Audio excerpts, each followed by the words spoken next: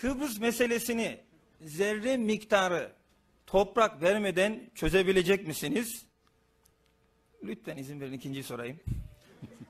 Aylardır özellikle sizi ve kısmen de diğer partileri en çok meşgul eden şey belediye başkan adaylarının seçimi.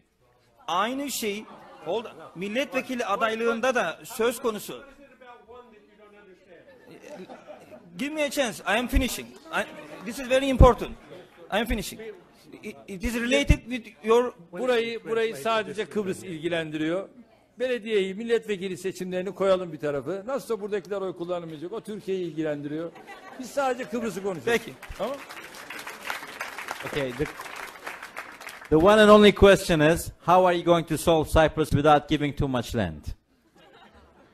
Değerli arkadaşlar, Kıbrıs konusunda arkadaşımızın sorusunda yatan oradan bir metre toprak verecek misiniz?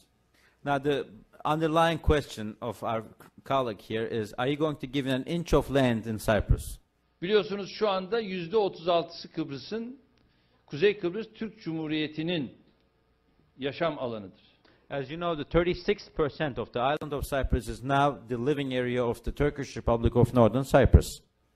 Belli bir oranda bu tür toprağı verebiliriz. We can give up some of that land uh, in a uh, mutual or uh, in a Tabii biz garantör ülke Appropriate olarak tavsiye ratio. ederiz. Kuzey Kıbrıs Türk Cumhuriyeti bu yaklaşımı gösterir. But that would only be our recommendation as the guarantor country, and that should be the approach of the Turkish Republic of Northern Cyprus to give up some land.